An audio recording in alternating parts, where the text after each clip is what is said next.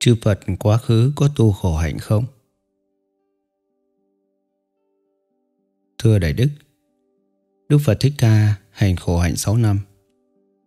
Thế các vị Phật quá khứ có trải qua giai đoạn khổ hạnh như vậy chăng? Có vị có, có vị không, Tô Đại Vương. Sao kỳ vậy? Hay chư Phật có ý kiến bất đồng, tâm và tuệ bất đồng? Tô, quả có sự giống nhau và có sự khác nhau. Nhưng cái đồng cái gì ấy không phải như Đại Vương nghĩ đâu. Xin cho chấm nghe điều đó. Tâu, đây là năm điểm khác nhau. Điểm thứ nhất, khác do chọn dòng họ Giáng xanh, Vì thì sanh vào dòng Bà La Môn, vì thì sanh vào dòng vua chúa. Điểm thứ hai, khác do thời gian hành bà La Mật. Vì hành Ba La Mật 16 A Tăng Kỳ cộng một ức kiếp. Có vì thì 8 A Tăng Kỳ cộng một ức kiếp. Có vì 4 A Tăng Kỳ cộng một ức kiếp. Điểm thứ ba. Khác do tuổi thọ. Có vì tuổi thọ ít, Giống như Đức Phật Thích Ca. Có vì tuổi thọ hơn thế nhiều. Điểm thứ tư. Khác do hình thể. Có vì sắc thân nhỏ, Có vì sắc thân rất cao lớn. Điểm thứ năm. Khác nhau do khổ hạnh. Có vị hành Có vị không hành. Tô Đại Vương Đấy là năm điểm khác nhau của tất cả chư Phật. Nhưng khi giác ngộ thành bậc tránh biến chi rồi Thì quý ngài lại có điểm giống nhau như Giác ngộ thiền chứng, giới định tuệ, giải thoát, giải thoát trì kiến, thập lực tuệ, 14 Phật tuệ, 18 Phật Pháp, vân vân. Đại Đức giảng điều giống, điều khác chư Phật như thế là rất hay. Nhưng để làm gì? Có giải thích được tại sao Đức Bổn Sư của chúng ta phải hành khổ hạnh đâu? Tô Đại Vương có vị Phật Ba La Mật giả dặn rồi mới xuất ra. Còn Bồ Tát Gotama của chúng ta, khi xuất ra, Ba La Mật chưa viên dung. Phải cần khổ hạnh 6 năm thì Ba La Mật và trí tuệ mới đầy đủ. Tại sao Ba La Mật chưa viên dung và trí tuệ chưa đầy đủ? Mong Đại Đức giảng cho nghe điều ấy. Tâu vâng. Sở dĩ như vậy là vì tuệ nhàm chán chưa chín mùi, phải vượt qua sự cám dỗ của ma vương và biết dựa theo truyền thống tín ngưỡng đường thời. Xin cho nghe rõ ba lý do ấy. Đại vương nên nhớ rằng Bồ Tát thành lập gia thất vào năm 16 tuổi Đến năm 29 tuổi mới xuất gia Suốt 13 năm sống trong nhung lụa với vợ đẹp hầu sinh, món ngon vật lạ, tiệc tùng sướng hát. Bồ Tát không đắm say sao? Nếu không đắm say thì Bồ Tát đã tìm cách thoát khỏi ngục vàng lâu rồi. Như thế thì ở trong Bồ Tát có những loại trí tuệ như trí tuệ xuất ly, trí tuệ nhàm chán chưa phát sanh. Phải đợi đến khi trẻ Rahula ra đời. Đêm ấy cũng là đêm mà Bồ Tát mới chợt thấy Cung Nga thể nữ nằm ngủ ngổn ngang, xiêm mi lộ liễu, nước dãi nước miếng chảy ra. Người mớ, người ngáy. Như phơi bày ra đấy tất cả các sự thật bất tịnh của con người. Nhờ thấy rõ như thế, tuệ nhàm chán mới phát sanh nơi Bồ Tát. Tuệ nhàm chán phát sanh, đồng thời tuệ xuất ly phát sanh. Thế rồi Bồ Tát mới cường quyết trốn đi xuất ra. Điều ấy chứng tỏ gì? Chứng tỏ ba la mật của Bồ Tát chưa viên dung và trí tuệ chưa đầy đủ. Cần phải bổ sung thêm, Tâu Đại Vương. Hay lắm, rõ ràng lắm.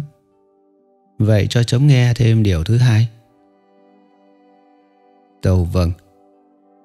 Thật ra suốt 13 năm sống trong đời sống ngũ dục, Bồ Tát đã bị sự quyến rũ của ngũ dục ma vương rồi. Trí xuất ly, tuệ xuất ly, xuất ra, phát sanh. Thì Bồ Tát đụng đầu ngay với một loại ma vương khác. Ấy là chư thiên ma vương.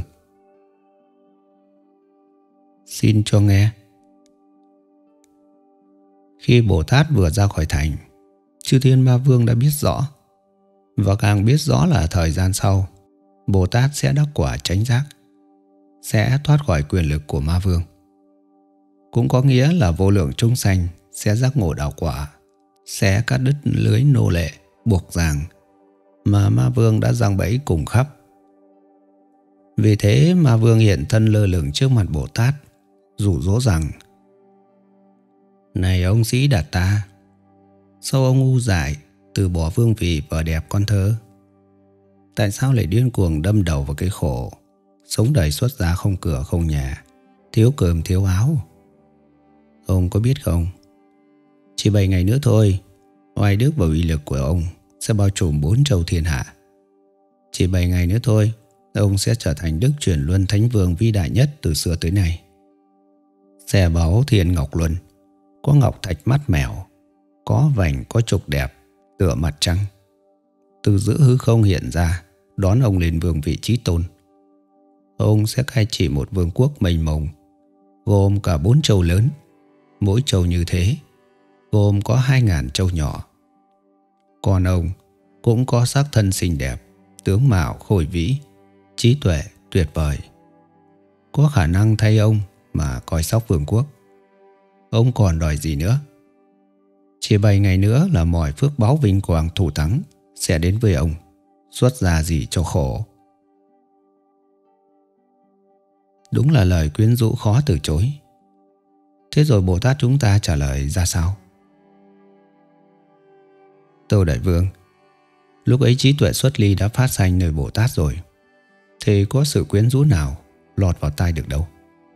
Trái lại, Lời quyến rũ ấy giống như là người cầm mũi giáo bằng sắt cháy đỏ, Bị nó nung đốt suốt ngày đêm. Thế mà đã thôi đâu?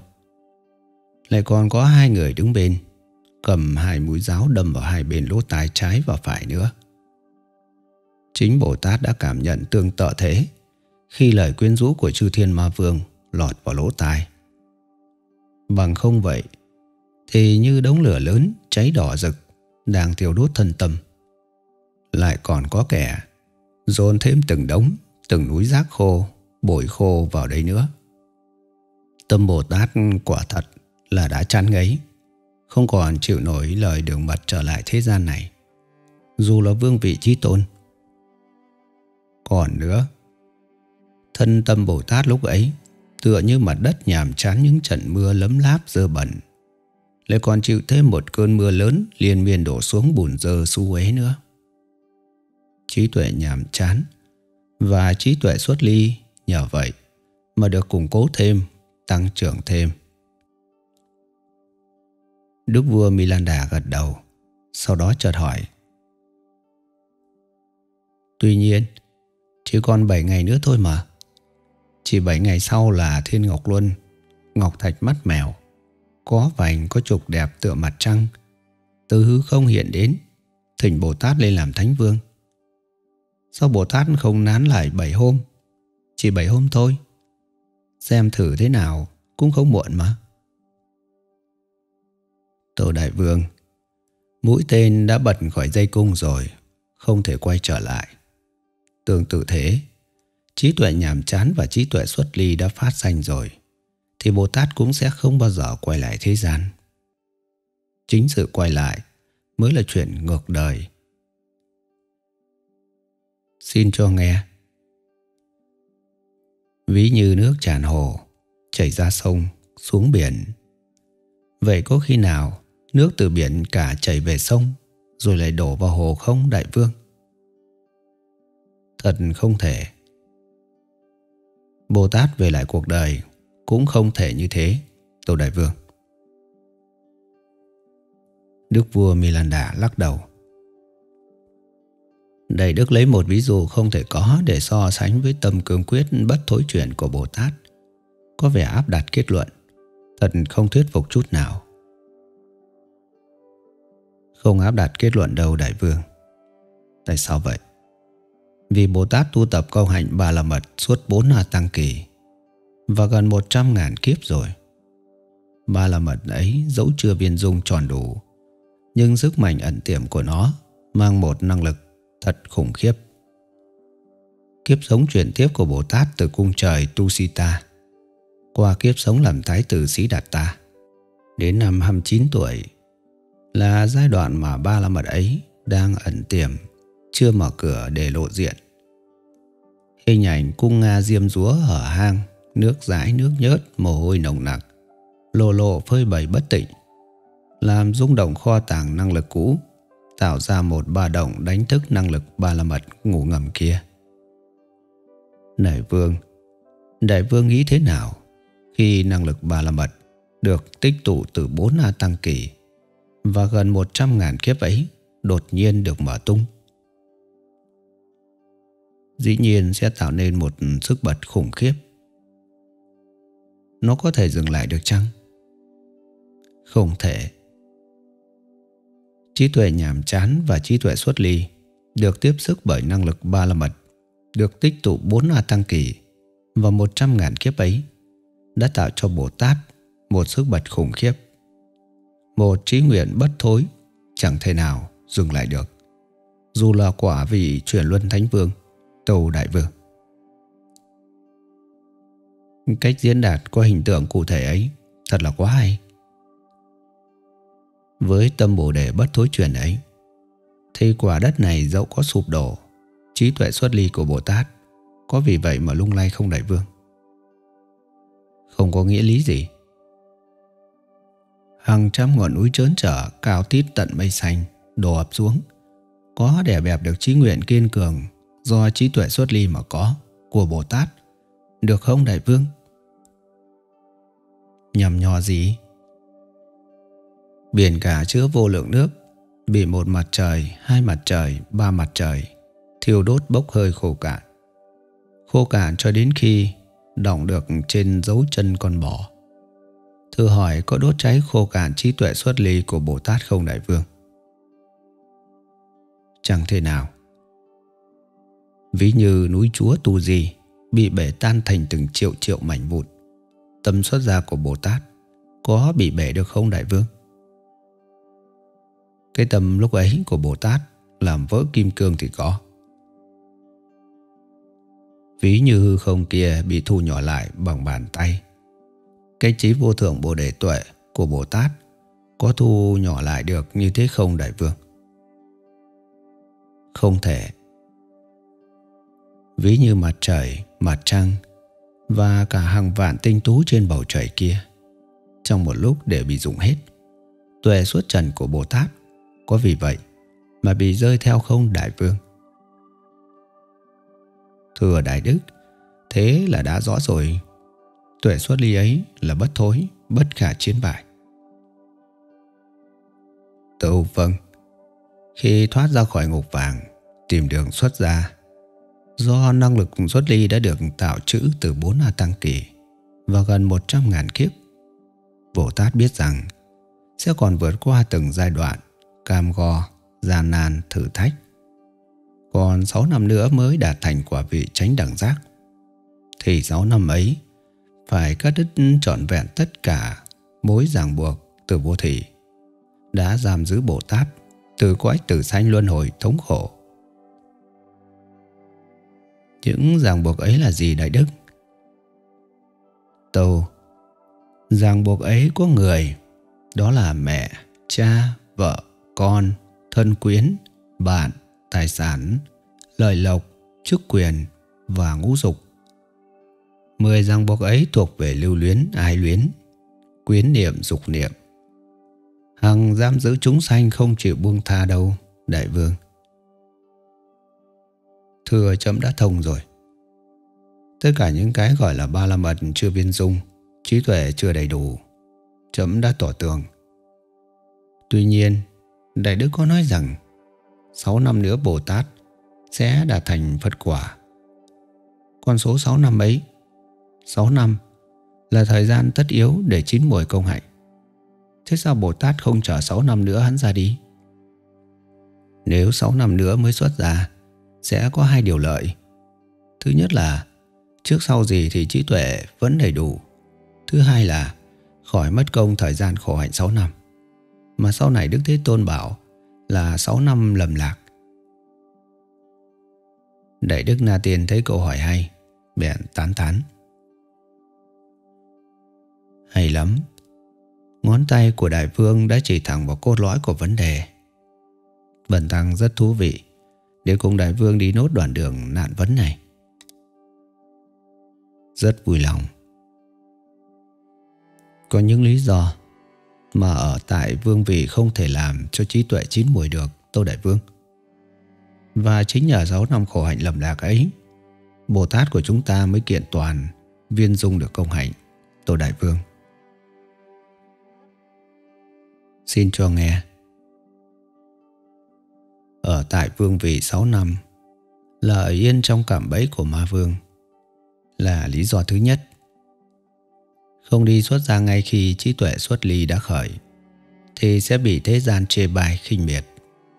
Họ sẽ ghép Bồ Tát vào một trong mười hạng người vô thích sự, thiếu phước mà ai cũng khinh nhờn, thiếu tôn trọng.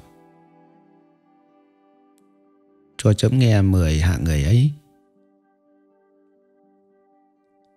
Tâu vâng, đó là đàn bà quá, người kém sức, mất sức, yêu đuối, người cô độc không có bạn bè thân quyến, người ham ăn, người bệnh hoạn nặng, người có bạn ác, người nghèo hèn, người đói, người vô nghề nghiệp, người già nua. Tại sao thế gian này gắn ghép Đức Bồ Tát vào 10 hạng người ấy? Thật ra Bồ Tát tự phản vấn chính mình, tự ghép mình vào 10 hạng người ấy. Nếu thiếu quyết tâm lên đường xuất ra. Tại sao vậy? Vì Bồ Tát nghĩ rằng sống đầy hưởng thụ ngũ dục năm này sang năm nọ thì tránh sao khỏi sự lười biếng dễ ruôi. Sơn hào hải vị lúc nào cũng đầy đủ, thừa mứa. Không sinh ham man mê ngủ, cũng sinh bệnh tật ốm đau. Cứ mãi hoài bên vợ đẹp, hầu sinh, tiệc tùng đờn ca sướng hát. Thế có khác gì kẻ vô công rồi nghề, ăn bám tài sản, vật thực của muôn dân bá tánh nghèo khổ. Nếu không dứt khoát con đường, thì quyết tâm nỗ lực tinh cần sẽ càng ngày càng bị thu chột, sẽ trở nên hèn nhược, yếu đuối ngày. Tô Đại Vương, những điều suy nghĩ của Bồ Tát như thế có tương ứng phần nào mười hạng người kể trên không? Rõ là cùng một ruột. Chính thị Đức vua Milanda chậm rãi. Thôi được rồi, coi như cho qua chuyện ở lại vương vị đi. Sang chuyện 6 năm khổ hạnh lầm lạc. Sao biết lầm lạc mà Bồ Tát cũng tình nguyện bước vào? Sao 6 năm khổ hạnh ấy là nhân cho trí tuệ chín mùi? Điều ấy khó đấy. Đại Đức có cần khất lại câu trả lời đợi ngày hôm sau chăng? Không cần thiết. Cảm ơn Đại Vương đã tỏ dạ quan hoài. Bần Tăng sẽ trả lời ngay đây. Tâu Đại Vương Đại Vương còn nhớ lý do khổ hạnh là phải biết dựa vào truyền thống của tín ngưỡng đương thời mà chúng ta có đề cập ở phần trước không? Có nhớ. Và Đại Vương có biết rằng từ trí tuệ phàm nhân đã chín mùi, đã đầy đủ, đã viên dung để bước sang thánh tuệ cần có bao nhiêu giai đoạn nữa không? Chấm không rõ lắm đâu. Vậy thì đại vương hãy chú tâm nghe một lượt về tất cả những điều ấy. Thưa vâng. Bồ Tát phải hành khổ hạnh là vì truyền thống tín ngưỡng đương thời xem khổ hạnh là con đường tối thượng. Khổ hạnh là phương pháp tu tập được thế gian tôn trọng, kính ngưỡng. Ai mà chưa tu khổ hạnh thì chưa được gọi là tu. Buổi đầu tiên xuất gia, Bồ Tát phải lựa chọn khổ hạnh. Thứ nhất là vì muốn thử trí nguyện kiên cường bất khuất của mình. Thứ hai, đạo Phật có xuất hiện là cũng cho con người, là vì cuộc đời. Nên không có lý do gì Ngài lại phải đi ngược lại niềm tin và sự trọng vọng của thế gian. Vậy, đi theo con đường tinh tấn khổ hạnh như là cái gì tất yếu, phải chứng nghiệm, phải vượt qua. Có lý lắm, Đại Đức. Sau này khi Hoàng Pháp độ sanh, những kẻ ngoại đạo đã từng tu tập khổ hạnh đệ nhất đệ nhị, tất phải khâm phục Đức Thế Tôn, đã từng trải khổ hạnh tối thượng, đệ nhất cổ kim nữa kìa. Đúng thế. Vậy là thông suốt, thông suốt. Xin Đại Đức cho nghe thêm về chuyện 6 năm khổ hạnh là nguyên nhân cho trí tuệ chín muồi cùng các giai đoạn từ phạm tuệ bước qua thánh tuệ. Tâu vâng. Đại vương có biết rằng ngay chính thiền định, định tâm là cái mốc, là cái cơ bản, từ đó quán chiếu để phát sanh thánh tuệ. Phải chế ngự bao nhiêu trạng thái tâm trầm luân cố ấy chăng? Có biết. Chấm có biết nhưng không cách chi mà biết hết đâu. Vậy thì bần tăng xin làm con vẹt, Đọc hầu cho đại vương nghe. Có 25 pháp trầm luân, Trở ngại sau đây. Một, Nóng giận, nóng nảy. Hai, Cửu oán hận thù.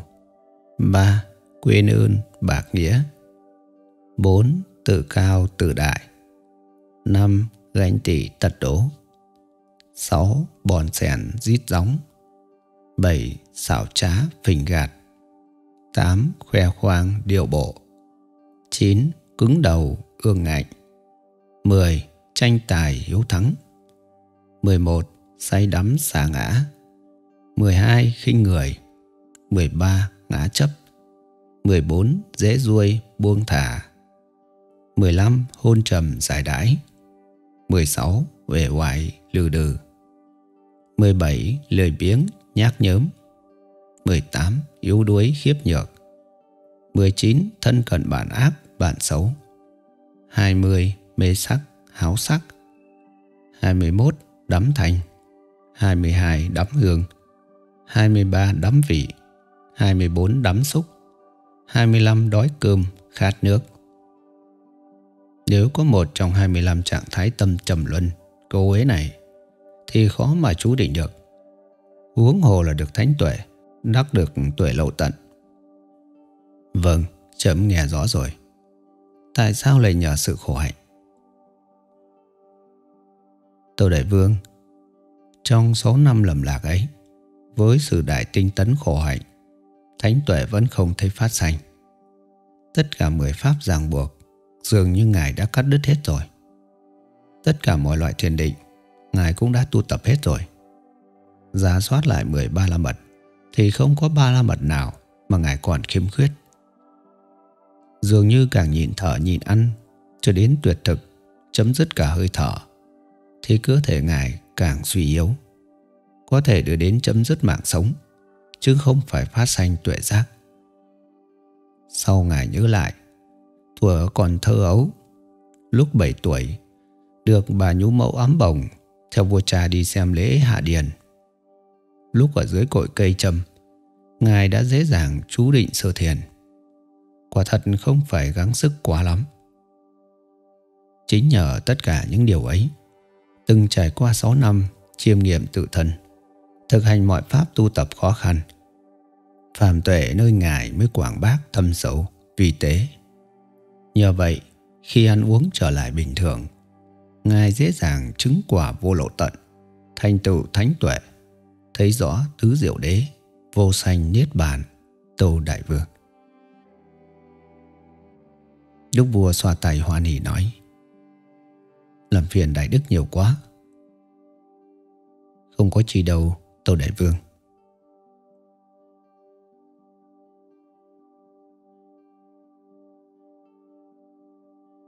năng lực của thiện và ác nghiệp, cái nào mạnh hơn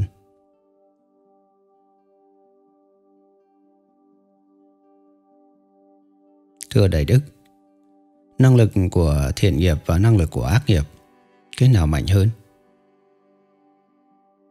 Tâu Năng lực của thiện nghiệp Bao giờ cũng mạnh hơn năng lực của ác nghiệp Thưa chấm không tin như vậy. Đại Đức xem, Trên đời này, Những kẻ giết người cướp của, Trộm heo trộm gà, Những kẻ tả hạnh vợ người Lương gạt tước đoạt gia sản của người, Vân vân. Họ bị trả báo tức thì. Pháp luật của chấm Sẽ xử phạt những người ấy. Tùy theo mức tội nặng nhẹ mà chấm sẽ căng nọc ra đánh bằng gậy Giam cầm Đôi khi là cắt tay, cắt chân Hoặc chém đầu nữa. Như vậy là rõ ràng ác nghiệp Sẽ trổ quả nhanh Do năng lực của nó mạnh. Có người bị trả quả tội báo ngay ngày hôm sau. Có kẻ trả quả sau một tuần Nửa tháng Một hoặc hai năm Vân vân. Nghĩa là trước sau cũng sẽ trổ quả Ngày chính trên đời này. Còn những người làm việc thiện thì sao nhỉ? Họ bố thí trai tăng làm phước Cúng dường ngày này sang ngày khác. Đến một vị tỷ khưu Hai vị, bốn vị, một trăm vị Đến một ngàn vị. Ngoài ra họ còn thọ trì tam quy ngũ giới Bát giới hành thập thiện Mà sao không thấy ai được quả báo trong hiện tại? Các vị tỷ kheo trong hàng ngũ của Đại Đức Bao giờ cũng nói Kiếp sau, kiếp sau nữa như vậy chứng tỏ gì?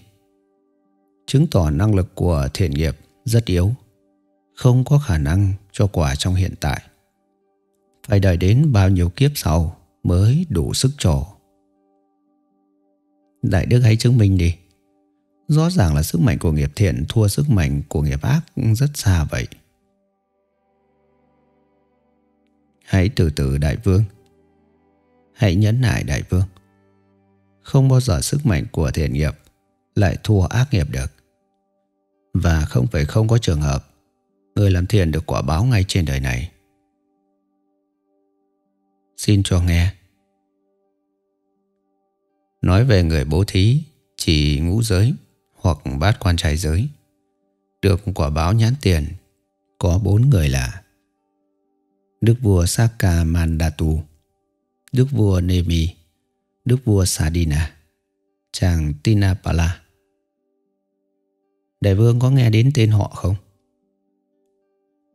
Đức vua Milanda lắc đầu. Thưa không biết. ông giả đại đức kể tên những người thuộc đời nào, đời nào, ai mà biết được. Đại đức hay kể tên những người hồi đức Phật tại tiền, mày già trống có thể nhớ được chăng? Tâu vâng. Vậy thì thuộc Phật tại thế có 6 người làm lành, Được quả báo nhãn tiền. Như sau. Thứ nhất, Người giúp việc, Tên là Punna Kedaso Thứ hai, là mẹ của người chăn bò. Thứ ba, Cận sự nữ Supiya. Bốn là bà hoàng hậu Malika. Năm, Người làm tràng hoa tên Sumana. Thứ sáu, Người Bà La Môn tên là Eka Sataka. Cả sáu người này đều được tài sản chức tước địa vị ngay trên đời đó, Tô Đại Vương. Thưa xin Đại Đức cho biết rõ nhân quả của từng vụ việc như thế nào. Tô Vâng, Đại Vương hãy nghe đây. Trước hết, chàng giúp việc Puna Kedaso dâng vật thực đến cho tôn giả xá lợi Phất, bèn được chức vị bá bộ giàu sang ngày chính trong ngày ấy. Tiếp đến, mẹ của người chăn bò có đức tin trong sạch đối với thiện pháp. Vì nghèo khổ quá nên đã tự cắt mớ tóc của mình, bán được 8 xu tiền vàng, mua vật thực dâng cúng đến ngài Đại ca Trên Diên, Maha các trai yam. Bèn được đức vua Udena thương mến, kính trọng, phong cho làm hoàng hậu ngay trong ngày ấy.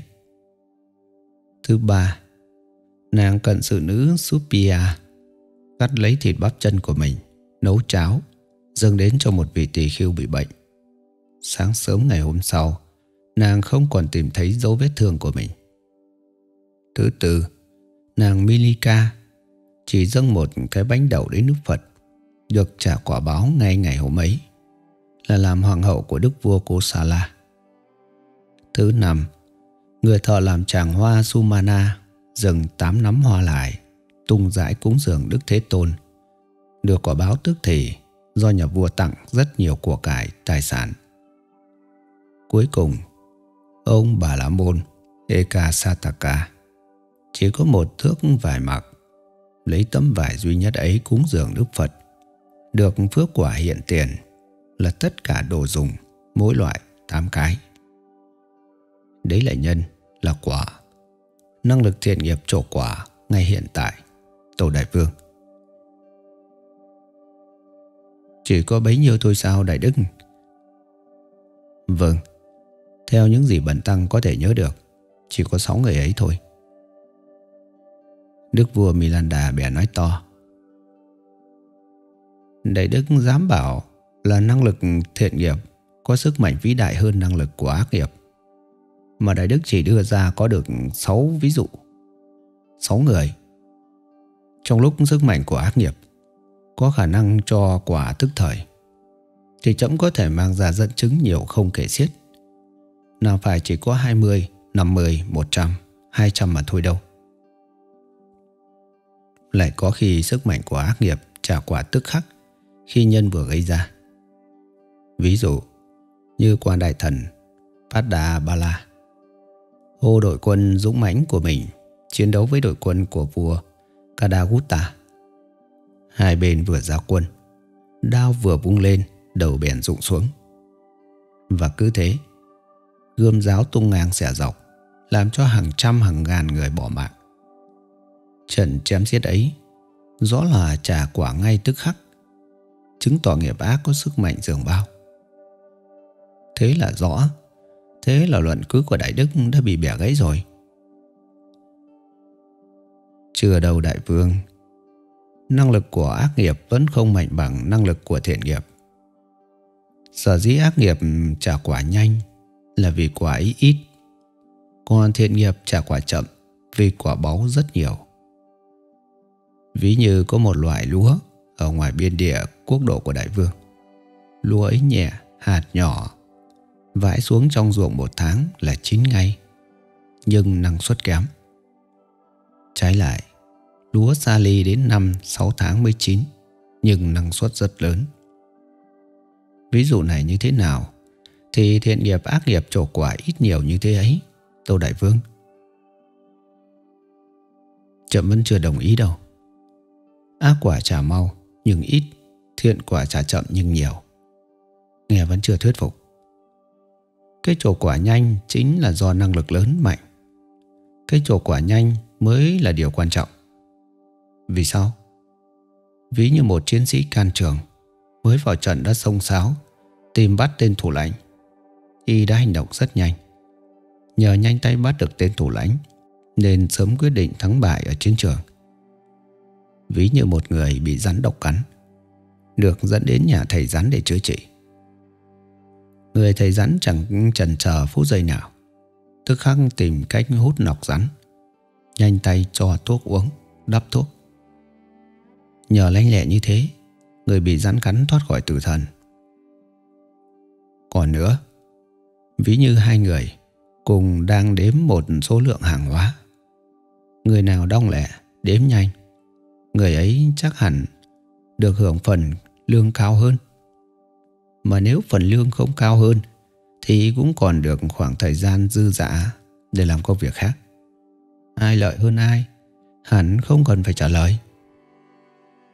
Còn nữa, ví như hai tay đồ vật vào cuộc, có một tên chậm chạp, tay kia nhanh hơn, đã tìm ra cách quật ngã đối phương rất nhanh, nên giành được chiến thắng lớn.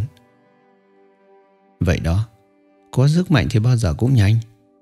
Ác có sức mạnh hơn thiện nên sẽ trổ quả mau hơn. Cũng là định luật tất yếu thôi, Đại Đức. Xin Đại Đức đừng đem chuyện nhiều và chuyện ít vào đây. Nó không tương hợp đâu.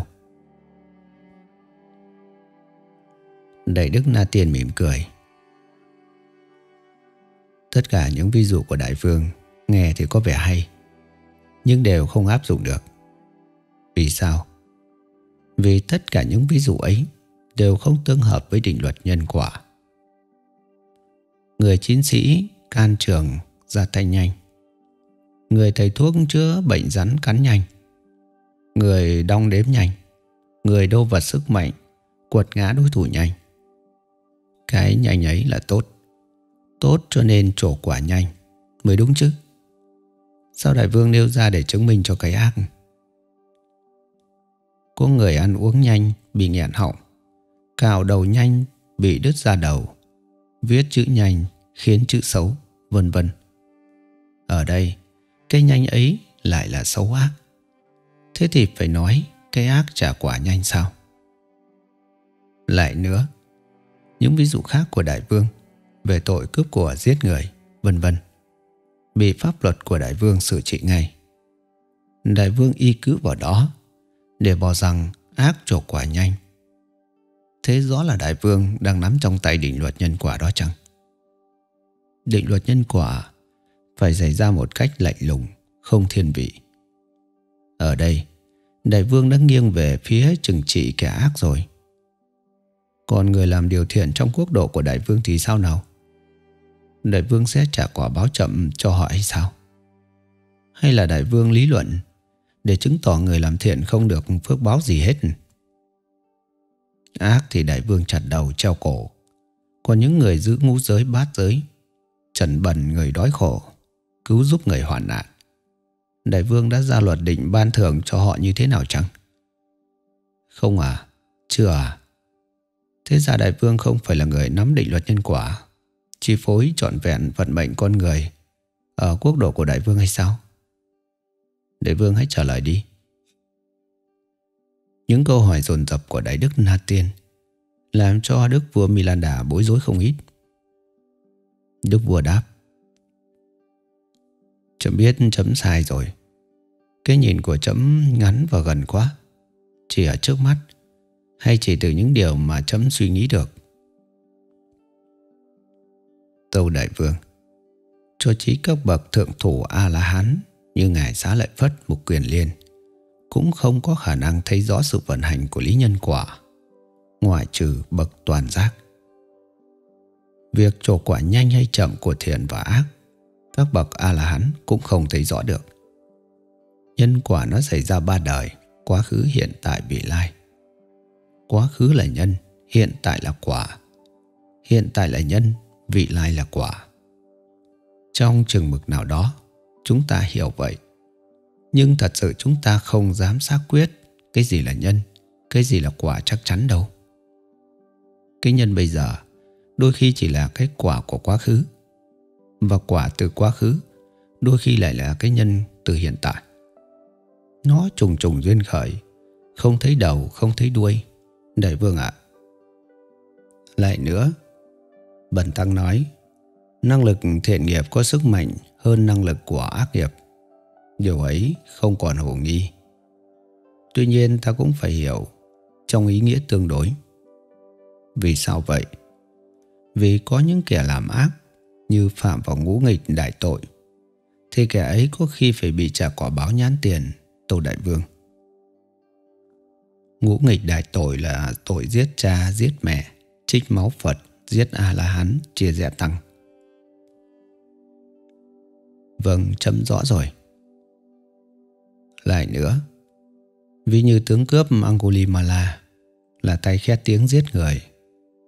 Sau vào tu trong giáo pháp của Đức Thế Tôn, Chứng ngộ đạo quả, Đáng ra tội giết người kinh khiếp của Angulimala Sẽ bị ác báo nặng nề. Nhưng không, Angulimala nhờ chứng ngộ đạo quả cao siêu, Pháp xuất thế gian, Là tối thượng thiện pháp. Nhờ năng lực ấy, Nâng đỡ nên trả quả rất nhẹ. Thế điều này không chứng tỏ năng lực của thiện mạnh hơn năng lực của ác sao, đại vương? Chính thị Thôi cảm ơn Đại Đức đã xua tán sự u tối cho chấm.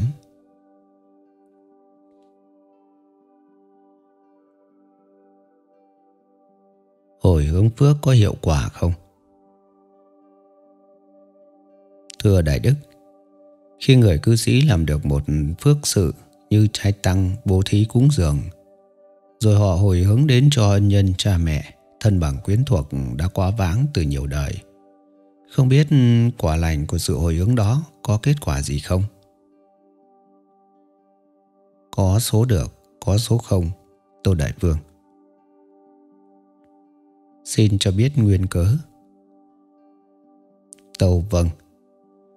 Nếu cha mẹ ân nhân thân bằng quyến thuộc sau khi chết, sanh vào có cõi trời, đọa sanh địa ngục, sanh làm muông thú, thì quả lành của sự hồi hướng không đến với họ được. Còn nữa, các loại Atula, ngạ quỷ đói, ngạ quỷ bị lửa thiêu cháy, cũng không hưởng được phần phước. Chỉ có loại quỷ Paradatu và Divi tức là loại ngạ quỷ sống nhờ vào sự bố thí của người khác, mới thọ hưởng được quả lành của sự hồi hướng ấy. Ghi chú Thật ra có một số chư thiên thọ thần hoan hỷ phước, tùy hỷ phước thì sự hồi hướng vẫn có hiệu quả. À, hóa ra là vậy.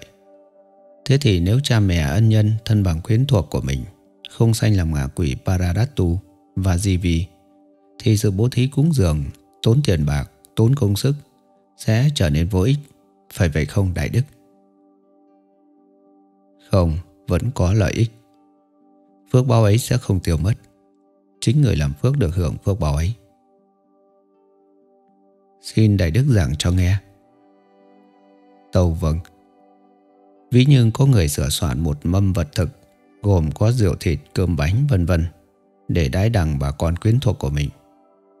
Vì một lý do nào đó, những người kia không đến, thì mâm vật thực ấy sẽ thuộc về phần ai, đại vương?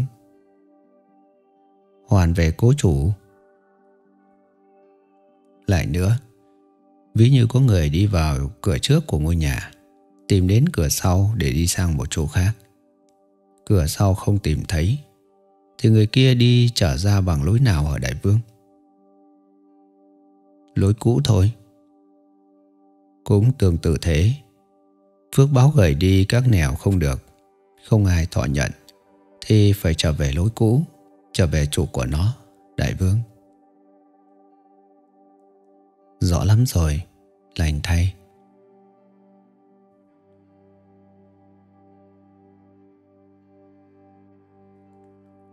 Hồi hướng ác có được không? Thưa Đại Đức Hồi hướng thiện báo, thiện quả thì chấm thông rồi. Nhưng còn ác báo, ác quả thì sao? Ví như có người tạo ngũ nghịch đại tội như giết cha, giết mẹ, vân vân rồi hồi hướng đến cho cha mẹ, ân nhân quyến thuộc hoặc cho kẻ thù nghịch đã quá váng từ nhiều đời. Có được không Đại Đức? Người được hồi hướng có nhận được ác quả ác báo ấy chăng? Đại Đức Na Tiên ngạc nhiên. Thật là câu hỏi lạ lùng. Bần Tăng chỉ mới nghe lần đầu. Tuy nhiên, Bần Tăng sẽ trả lời ngay. Việc ác không thể hồi hướng được, Tâu Đại Vương. Tại sao lại không được? Thiện hồi hướng được thì ác cũng phải hồi hướng được chứ. Thiện có nơi nhận được thì ác cũng phải có nơi nhận được chứ. Pháp vốn bình đẳng mà. Câu hỏi tại sao này thật khó trả lời. Và có lẽ đại vương cũng không nên đặt những câu hỏi như thế. Tại sao?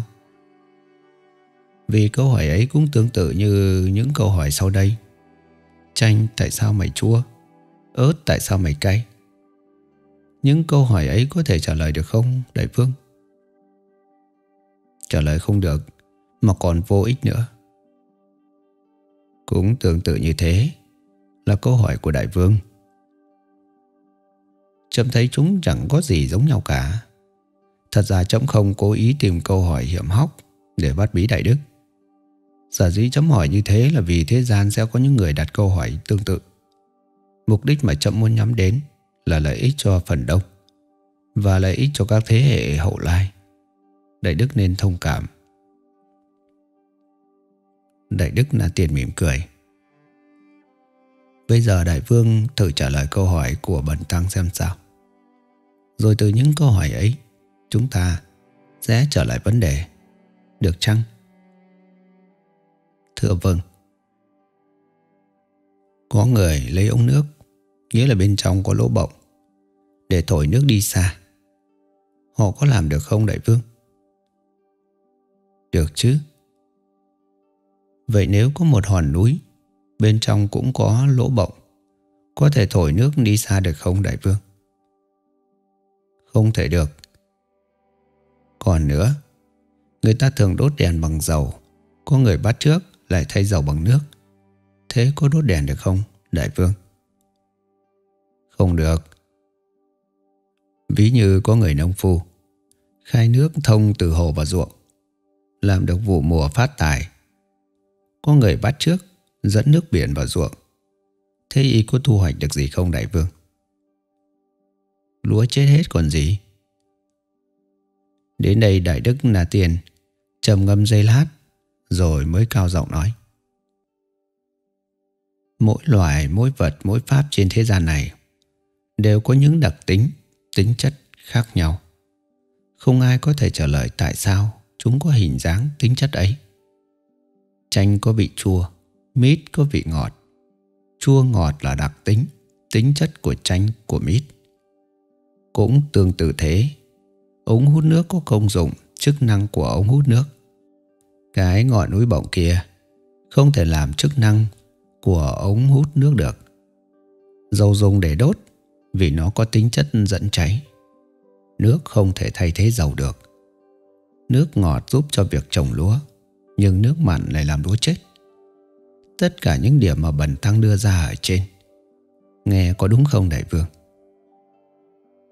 Không sai. Trở lại vấn đề đầu tiên Là thiện và ác. Thiện ác là hai pháp. Mỗi thứ một tính chất, Một đặc tính, Công dụng và chức năng khác nhau. Tương tự như mít Thì ngọt, Mà khế thì chua. Người làm việc thiện thì tâm mát mẻ, Người làm điều ác thì tâm nóng nảy. Mát mẻ hay nóng nảy là phản ứng tất yếu của thiện và ác. Chúng không thể trao đổi trạng thái và phản ứng cho nhau được. Pháp nào bảo tồn và duy trì tính chất của Pháp ấy? Đại vương đã nắm vững điều này chưa? Chấm còn lờ mờ lắm đấy. Dầu thì đốt được, còn nước không đốt được, vì dầu mang tính chất của vật dẫn cháy. Cũng tương tự thế, thiện hồi hướng được, ác không hồi hướng được là do tính chất của nó như vậy. Chúng không thể làm khác tính chất của chúng. Ta cũng không thể áp đặt bảo chúng phải khác đi. Nói rộng hơn tí nữa, bản chất của thiện là lan tỏa, càng thấp càng sáng, càng hồi hướng thì càng được nhiều. Bản chất của ác là co rút cô đập, không lan tỏa. Người nào làm thì người ấy chịu thôi. Chẳng thể chia sẻ được cho ai. Đại vương nghĩ thế nào? Thưa đã bắt đầu sáng ra rồi đấy. Thiện có quả nhiều, ác có quả ít. Đó là bản chất, tính chất của nó. Là một cái gì cố hữu, tất yếu vậy, đại vương. Nhiều và ít ấy như thế nào đại đức? Một giọt nước có thể rơi tấm được 10 sảo đất, 20 sảo đất không, đại vương? Không thể Thế một trận mưa to rất lớn, rất lâu thì sao đại vương? Không những thấm nhuận cả một vùng, Mà còn đầy giếng khe suối sông rạch nữa là khác. Cũng tương tự như thế, Việc thiện mà người nào đã làm Thì có thể thấm nhuận, Chia sớt đến cho rất nhiều người. Vì thiện vốn có quả nhiều, Còn ác thì không thể như vậy, Vì nó có quả rất ít, Tâu Đại Vương. Vâng.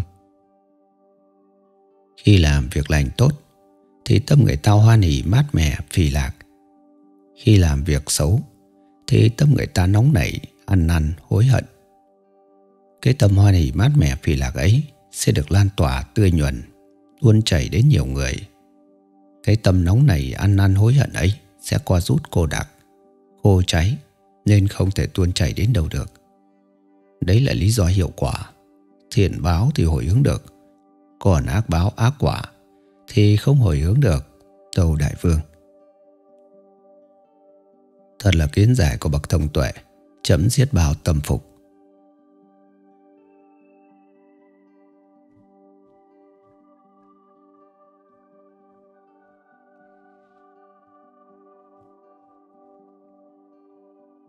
Tại sao có chiêm bao? Thưa Đại Đức hôm nay chúng ta bàn về giấc mộng nhé. Tại sao có người mộng lành, có người mộng dữ? Tại sao có người chiêm bao? Thấy cảnh người hay vụ việc đã có từ trước? Có người lại chiêm bao thấy cảnh người hay vụ việc chưa hề có? Lại có người nằm thấy chuyện hạnh phúc vui tươi? Có người nằm thấy chuyện sợ hãi, khiếp đảm?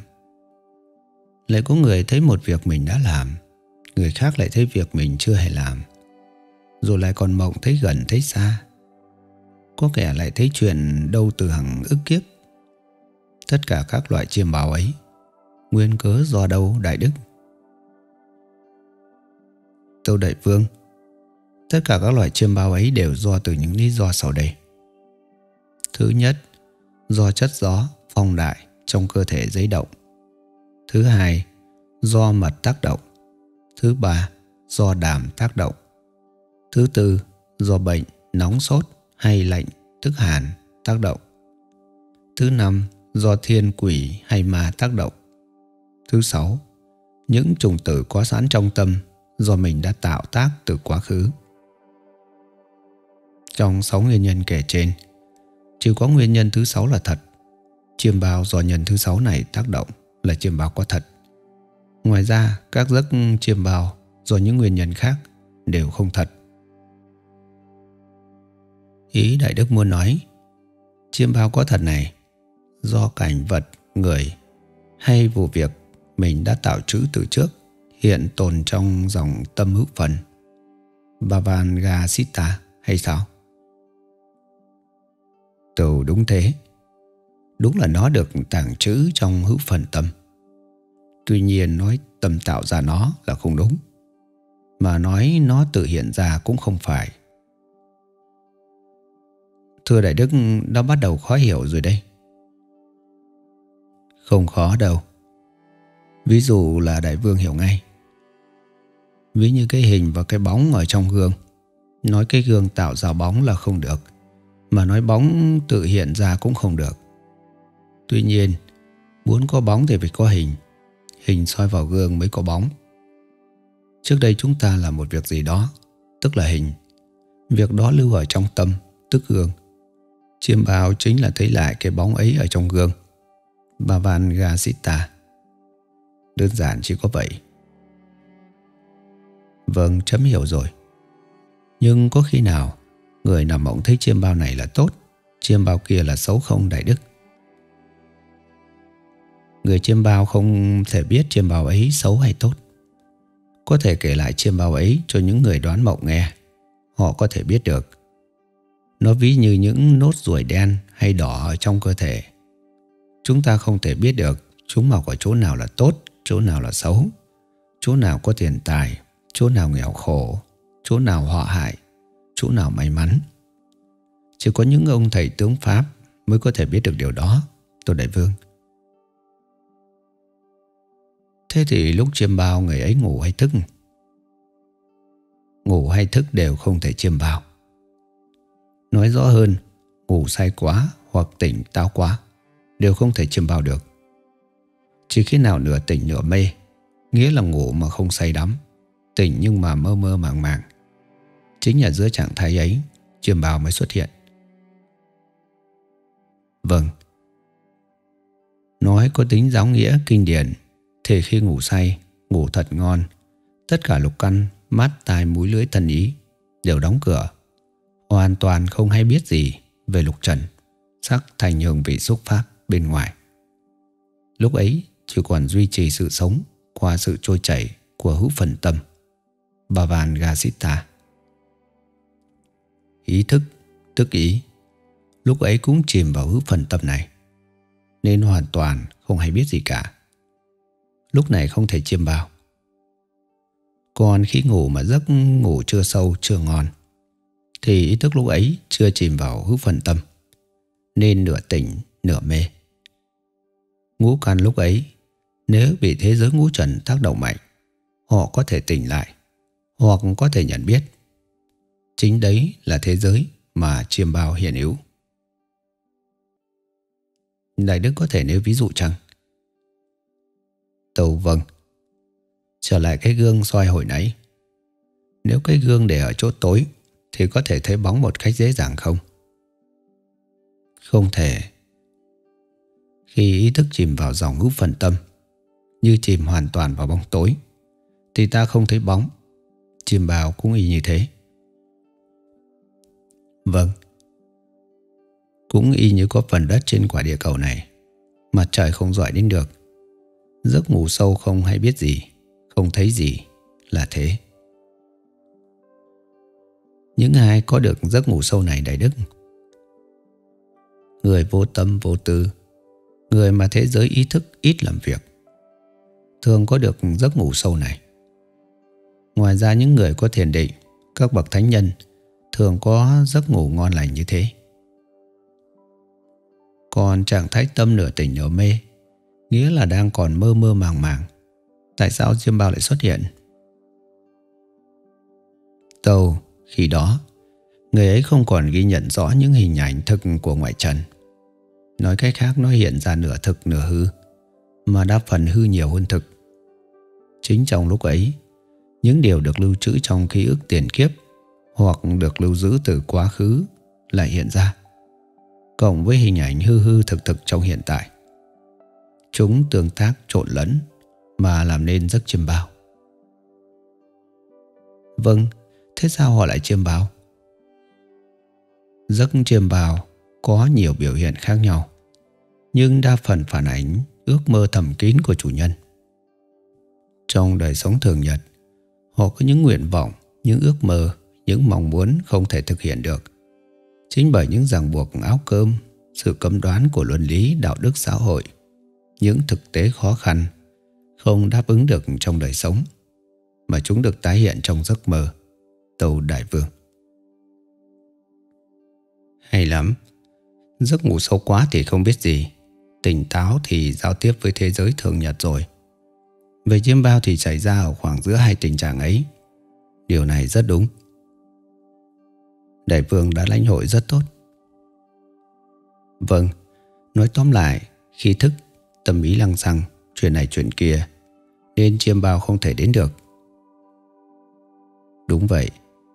Ví như một tỷ khưu phá hủy tránh mạng thanh tịnh giới Không nuôi mạng trơn tránh Sống thân cận với bản ác Chuyên hành trược hạnh Rời khỏi sự tinh cần Lười biếng, ham ăn, mê ngủ Thì Pháp trợ Bồ Đề sẽ không bao giờ đến được với họ. Tương tự như thế Người có làm việc ác hoặc tầm ý lăng xăng nghĩ ngợi lung tung, hoặc thế giới óc não làm việc nhiều, hoặc lo toàn, hoặc mưu tính, thì đêm đêm thường khó ngủ, cứ chiêm bao mộng mị. Thật khó khăn để có được giấc ngủ ngon, giấc ngủ sâu, đóng trọn vẹn sáu cửa, để cho ý thức được chìm vào hữu phần tâm, Tô Đại Vương. Rất rõ vậy. Và dường như Đại Đức cố ý phân chia giấc ngủ ra làm ba giai đoạn đoạn đầu, đoạn giữa và đoạn cuối. Đúng thế để Đức có thể giảng giải rõ ràng chăng? Vâng. Đoạn đầu là lúc chuyển từ giai đoạn đang thức sang giấc ngủ.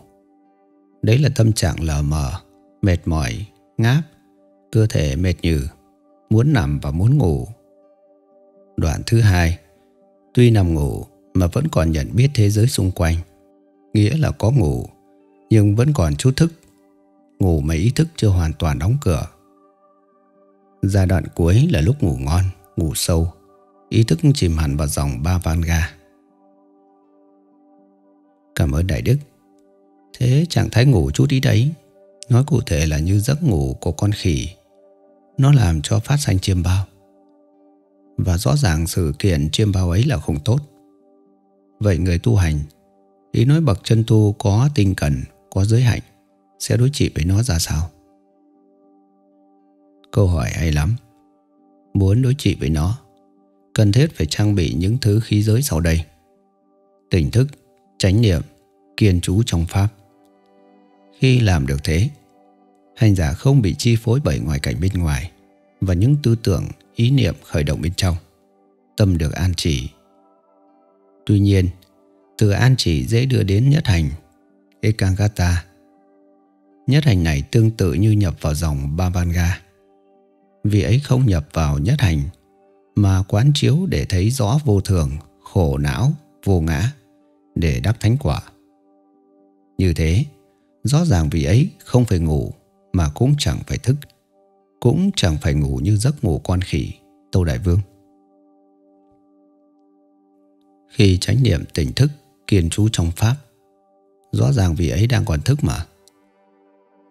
Tâu thức nhưng không như cái thức của phạm nhân, Lại bị chi phối bởi cái ồn ào, Phức nhiễu ở xung quanh, Nên không thể gọi là thức bình thường được. Nếu vị ấy không nhập vào ba văn ga, Tức là còn đang ở giai đoạn thứ hai, Nghĩa là ngủ chút chút như con khỉ, Thì rõ là vị ấy chiêm bao. Tuy không nhập vào dòng ba văn ga, Nhưng vị ấy không mơ mơ màng màng, Không ngủ chút chút như con khỉ, Vì ý thức đã yên lặng. Tâm đã an lạc. Do vậy vị ấy không có chiêm bao Tô Đại Vương. Thế còn giai đoạn cuối Các vị ấy ngủ ngon ngủ sâu chứ? Dĩ nhiên rồi. Các ngài tránh niệm tỉnh thức ở giai đoạn 1 An lạc, vắng lặng ở giai đoạn 2 Nên đi vào giấc ngủ ở giai đoạn 3 rất dễ dàng. Thế có khác giấc ngủ ngon của phạm nhân không? Không khác. Nhưng phàm nhân lâu lâu mới có được giấc ngủ ngon như thế. Vì họ còn mộng mị chiêm bao. Còn các bậc thánh nhân bao giờ cũng ngủ ngon Và không bao giờ còn chiêm bao nữa. Hay thật, Khi thức không phải thức, Khi ngủ không phải ngủ, Ở chỗ chiêm bao mà không phải chiêm bao Bao giờ cũng an lạc vắng lặng, Ngủ lúc nào cũng ngon. Thì thật là hạnh phúc tuyệt vời trên cõi trần này, Thưa Đại Đức. Chí phải